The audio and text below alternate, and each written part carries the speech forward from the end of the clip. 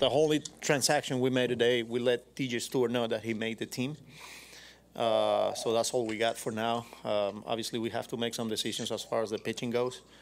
Uh, and as soon as I get done here, we'll have some more conversations. But uh, yeah, DJ Stewart's on the team. Top to bottom, uh, we got we got not only versatility, but guys that can do damage.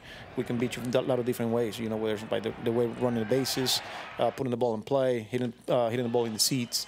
Um, I like our pitching staff as a whole you know, uh, our bullpen, you know, and the versatility that we got and the different looks that we got back there. Uh, guys that can come in and, and, and, and, and throw from different angles, uh, different pitch shapes, and things like that.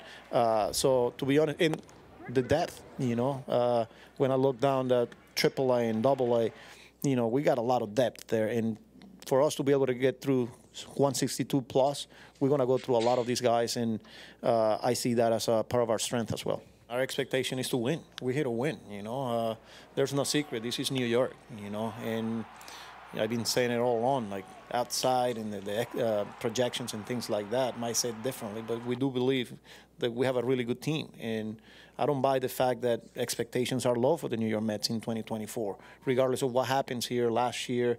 Uh, this is a very talented uh, team, and we're here to win. And you know, our our job is to go out there and, and, and prove, prove people, you know, and uh, embrace those expectations. And we know we're good, and we're here to win.